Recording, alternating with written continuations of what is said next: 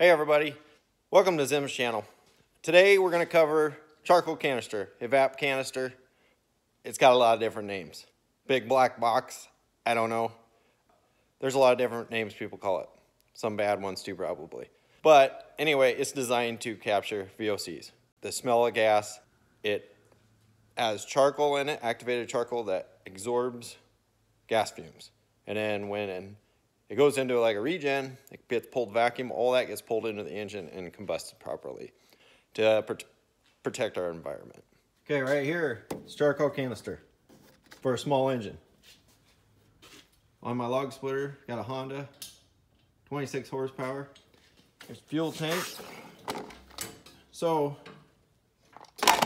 when you fill this one, don't quite do it like a car because it's got a big fill area. So gas vapors can come out of there. On a car though, it's more of a plug flow through a small hole.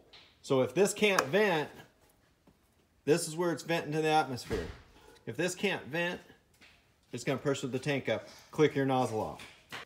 Okay, so here's where it's connected to the fuel tank. So when this fuel tank's sitting here, this is a positively closed fill cap.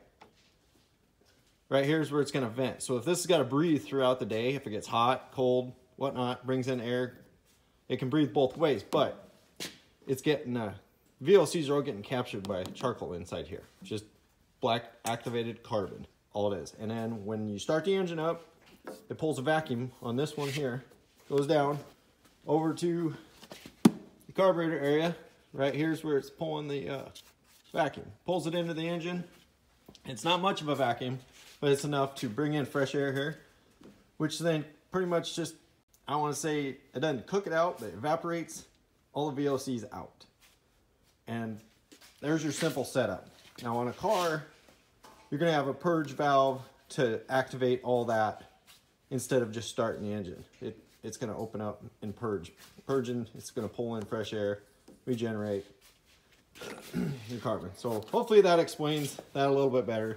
Once I get another vehicle in here, I'll break it down some more. Uh, if you haven't, please subscribe. I really appreciate it. Uh, if you like what you see, click on like. Like to hear more comments. Thanks for watching.